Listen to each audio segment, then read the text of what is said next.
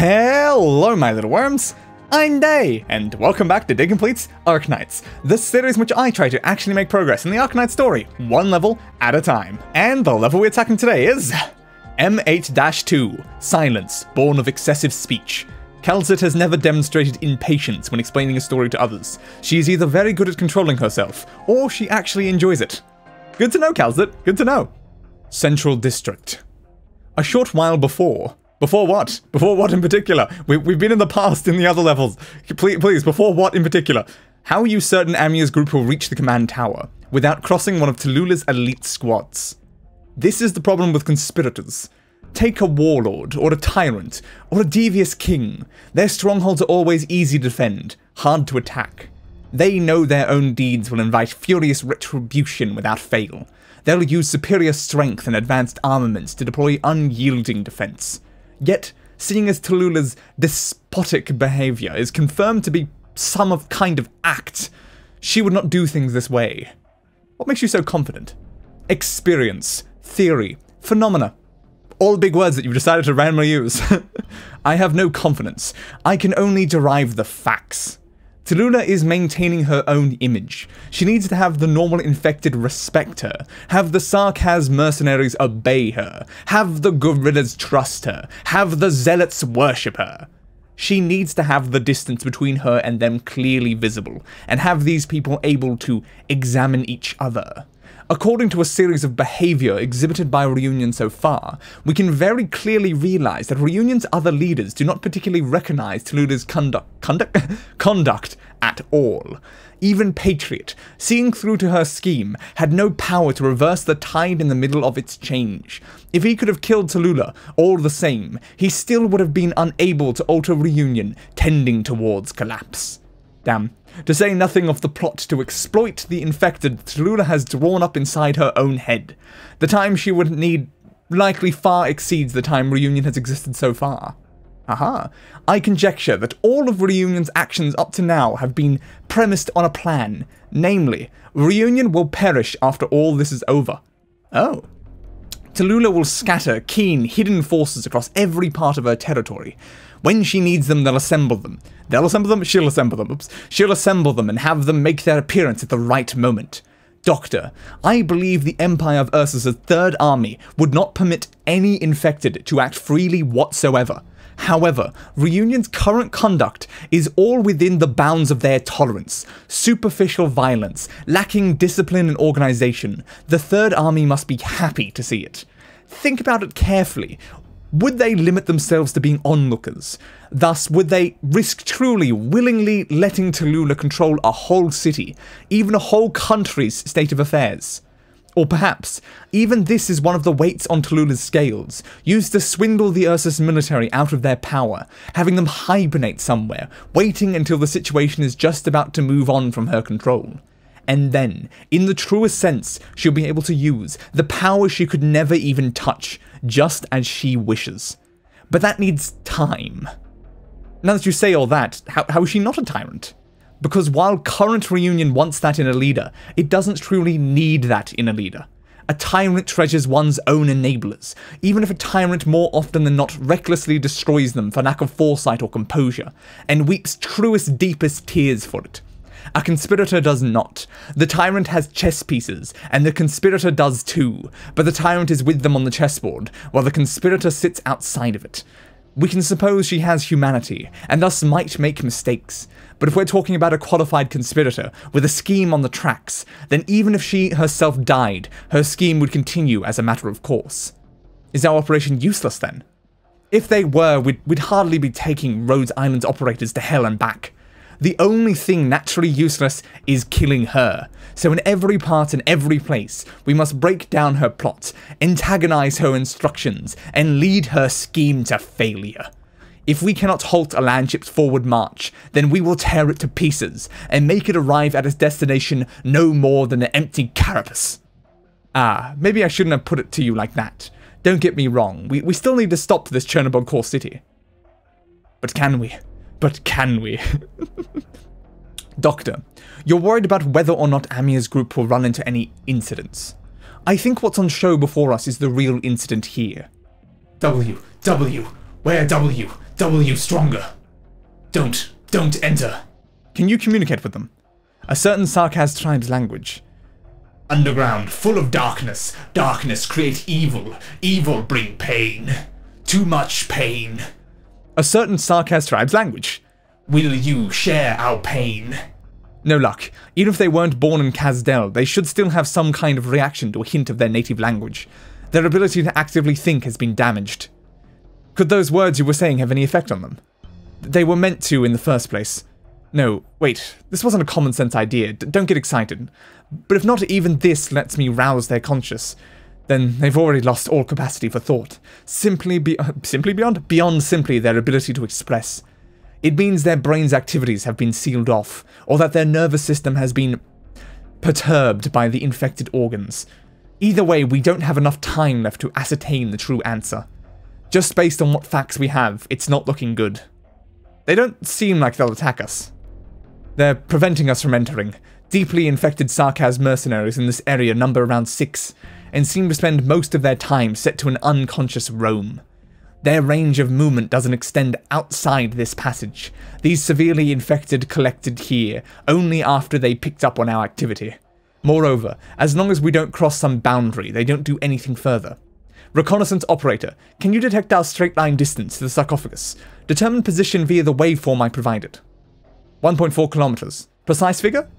1,453 meters. If my calculations aren't wrong, then the breakout of conflict between Reunion and Sarkaz Special Infected happened to be roughly at distance 1.4 kilometers from the City Hall too. We initially planned to enter the sarcophagus holding the City Hall basement shelter passage, but as things are, that exit's likely been occupied by Sarkaz Special Infected of the same kind. I have an unconfirmed conjecture, Doctor. What kind of a conjecture? conjecture? sure. We don't know what their goal is, but these Sarkaz Special Infected are likely preventing anyone else from entering the sarcophagus holding, and by happy coincidence, coincidence? coincidence, this district they've controlled measures 1.4 kilometers out. You might be right, but what about their goal then?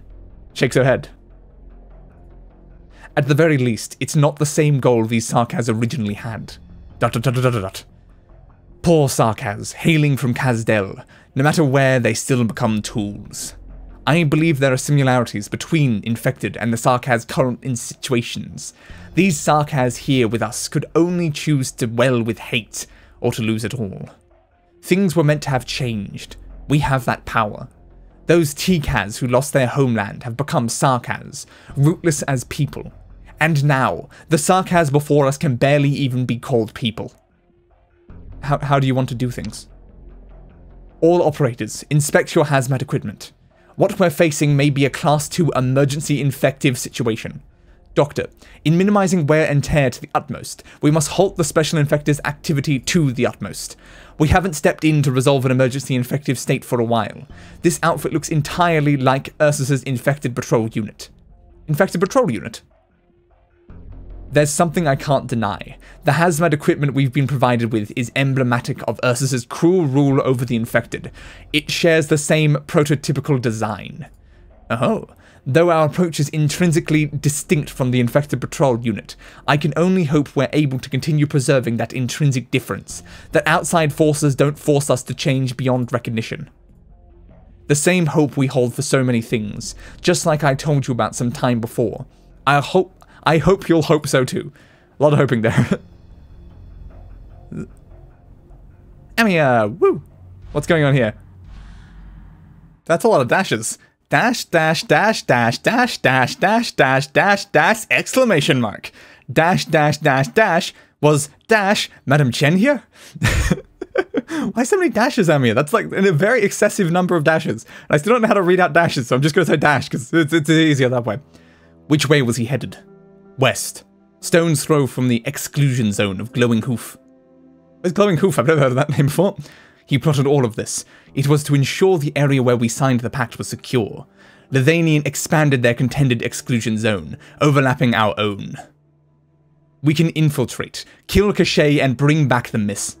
No, he's already prepared. In this meeting, the twin empresses directly dispatched the empress's voice, and they weren't short on on of armed forces. The empresses are fresh upon the throne. If Cachet intends to blow our dis- dis- dis- diplomacy apart, all our transgressive conduct may very we- very we- speak me, come on, speak, may very well be the empress's excuse to flaunt their power. We can't give Cachet more opportunities to harm Lungmen, or even Yan. Uncle! Dot dot dot dot dot. Hui Che. Uncle, it, it's not Tal's fault. I'm not blaming her. Th- th- then you should get mad at me. You haven't done anything wrong. I told her I was gonna go with her, but but then I got scared. I I let go of her hand. I, I didn't go with her. She she looked really, really scared. I was really scared, and, and she was too. I I did something wrong. Hui Che, she made the mistake, not you. Huh, but, but but you said you wouldn't blame her, Uncle. No, I won't. But didn't didn't she do something wrong? If she does something wrong, you're, not gonna get mad at her? Dash dash. She doesn't know the truth. It's not a truth anyone should be privy to. So of course she'd make a mistake. If not now, she would in the future. In so many cases, the wrong thing shouldn't be punished. Not only do we make mistakes, we will make so many of them. If there's some mistake, we will make it. We can't dodge that, nor escape it. Talulah simply made the mistake she was bound to. Is, is that still doing something wrong then? Yes, of course it is. The, this world of ours wouldn't forgive something just because it was bound to happen. The world is harsh. The people are harsh. The regimes are harsh. Apart from right and wrong, they don't care a damn. As if it's right and wrong keeping them alive, and not what they breathe and swallow. Dot dot dot dot dot. I, I don't get what you're saying, Uncle. Does does it mean Tal can still come back? I don't know, Huiche. I don't know. Is, is it because of me Tal won't come back? It's it's it's my fault. It's my fault. Tal. Huiche. Wipe your tears away. I I or cry then. I'll give you five minutes. After you're done crying, if there's not still tears in your eyes, I'll tell you what you should do. Mm. Tal! Wei Yenwu gazes towards the sky. He considers bending down to comfort the tiny girl, but after hesitating, feels as if he isn't suited to the task. You're done crying then. Mm-hmm. I want Tal back. What should I do? I'll teach you a world of things. I'll teach you how to supervise a city, how to fend off villains, how to treat your friends. Do as I say, and Talulah will have a chance of coming back. What what do I do? Will Tal be back? Be, be, be back? Will, T- will Tal be able to come back? Really? Are you tricking me, Uncle? Mama. Mama. Mama said you, you only know how to trick people. oh, how to... Can, can, can I really believe you? Perhaps. I've made a massive mistake of my own, and it led to your mother despising me for her whole life. Even on her deathbed, she couldn't have let go. What she told you is understandable. But mistakes can be made right. Hui Che, listen carefully. Proper conduct is worth striving your whole life for. Correcting a mistake is worth putting life itself at stake for. Talulah's departure was a mistake. Every consequence it brings, I will bear. And you, Hui Che, you'd better grow up fast. What, what, what'll it be like when I grow up? Hmm. When you grow up, you'll be able to change everything. Really? Perhaps. Or let's put it this way. So long as you believe, it will be real. I'll teach you how to wield a sword, Hui Che. To wield uh, Chi Jiao. Maybe that's close enough in pronunciation. I don't know how to pronounce any of these words. Just, I don't speak these languages. Unsheathing strike. Eradicate without delay. Oh ho ho. Well, that was a nice flashback between Wei Yenwu and Qian. Trying to remember the names. Yep, that's probably how I pronounce those. Yeah, that was a, decently nice uh, flashback scene at the end there. I still wonder how uh, the actual like, main group there with, um, you know, the Doctor and uh, Kal'tsit. I completely blanked on a name for a second there. Oops. Uh, I wonder how they're going to get past those uh, herdified soldiers because they, they seem like they might be a little bit of a threat, but I'm sure they will figure it all out. Anyway, if you liked the video, be sure to leave a like and why not subscribe to the channel for more content like this. And ring the notification bell, it does something, I still don't know what. And I'll be seeing you guys in the next level. So for now, goodbye everybody and a roll the outro. I gave that bastard what he deserved a funeral.